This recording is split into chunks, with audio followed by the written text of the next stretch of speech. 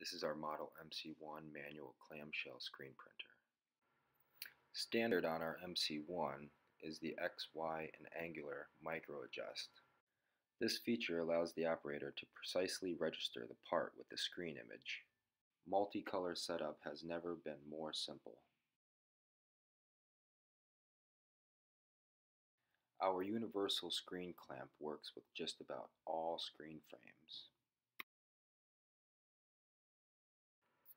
This one adjustment allows you to change the angle of the screen, ensuring parallelism between the printing surface and the bottom of the screen.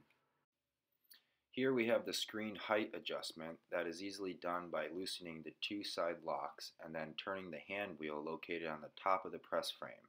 This allows you to quickly and easily adjust the height of the screen. Shown here is the counterbalance spring. Its purpose is to help assist the screen to stay in the up position for easy access to the bottom side of the screen for cleaning and for product changeout.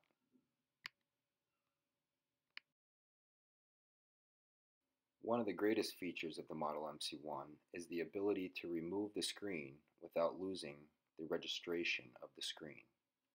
This allows the operator to quickly and easily change the color of the ink or clean the screen and then reset the screen back into the machine without setup downtime. This is quickly and easily done by the two turn knobs as seen in the video.